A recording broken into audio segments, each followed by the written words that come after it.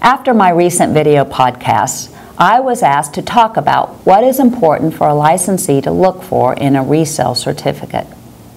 In last week's video discussing resale certificates provided by the condominium associations, I listed 14 things the resale certificate must disclose.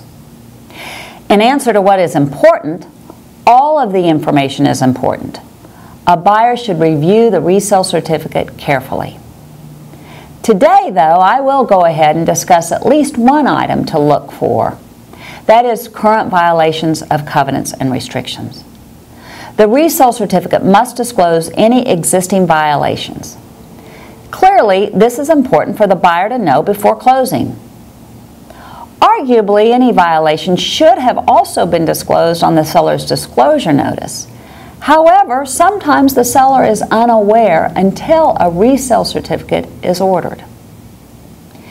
Because the HOA is required to disclose any violations on the resale certificate, this is one of the good reasons I continue to recommend that it be ordered before entering into the contract.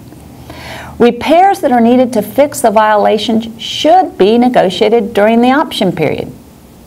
When the resale certificate certificate is ordered after the contract is negotiated, more often than not, it is received after the option period is expired. The seller is not automatically required to make the repairs.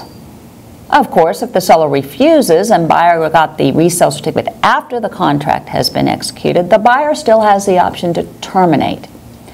But he only has three days to terminate after receipt of a resale certificate in the case of a single family home and six days after receipt in the case of a condominium.